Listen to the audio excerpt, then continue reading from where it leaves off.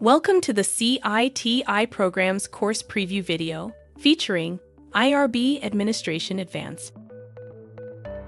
This advanced, role based course provides a second level training tackling topics of importance for IRB administrators and IRB directors. The objectives for this course aim to cover crucial leadership topics specific to IRB offices and HRPPs, review operational management strategies for working with ancillary committees, communicating with other IRB and institutions, and evaluating and improving your own IRB office. Identify how to develop and assess training and educational programs, and provide a framework for assessing and managing noncompliance.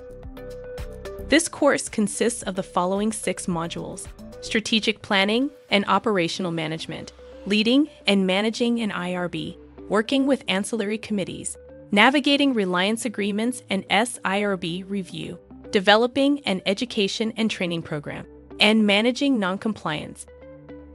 This course is offered in both the classic and audio visual format. These modules will also engage learners with interactive elements, including high quality graphics, scenarios, and case studies. The suggested audience for this course includes IRB administrators, HRPP directors, IRB directors, and IRB managers.